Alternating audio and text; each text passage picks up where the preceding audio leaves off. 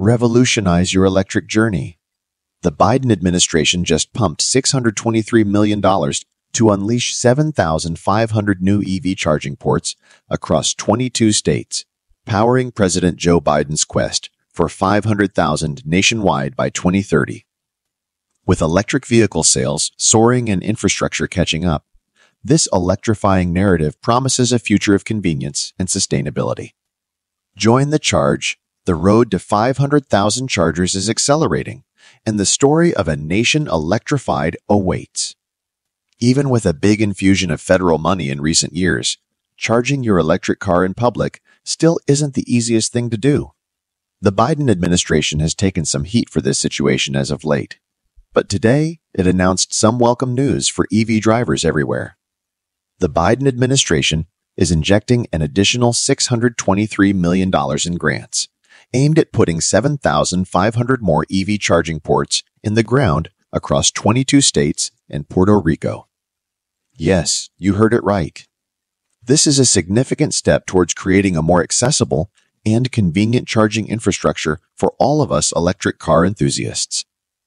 The fund comes from the Charging and Fueling Infrastructure Discretionary Grant Program, a game changer in alternative fueling stations.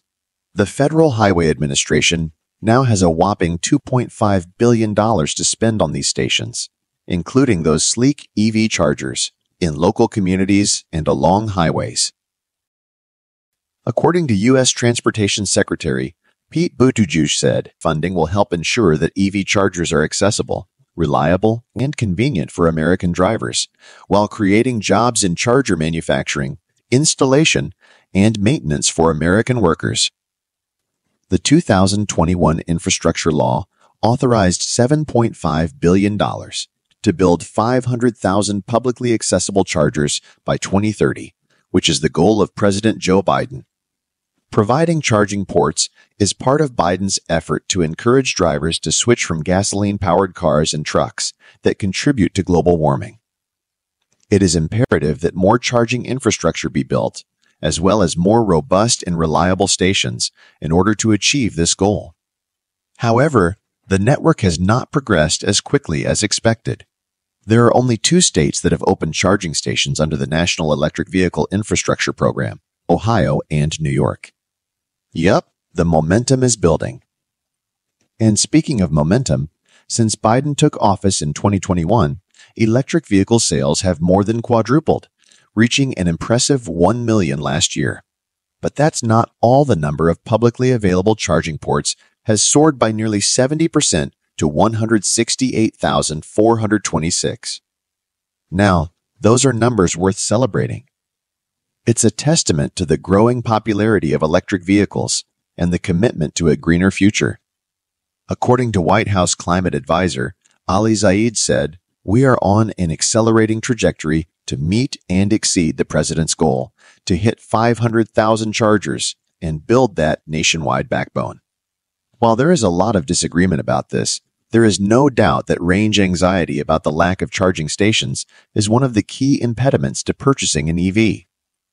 More than 80% of respondents stated that a lack of charging stations prevented them from purchasing an electric vehicle.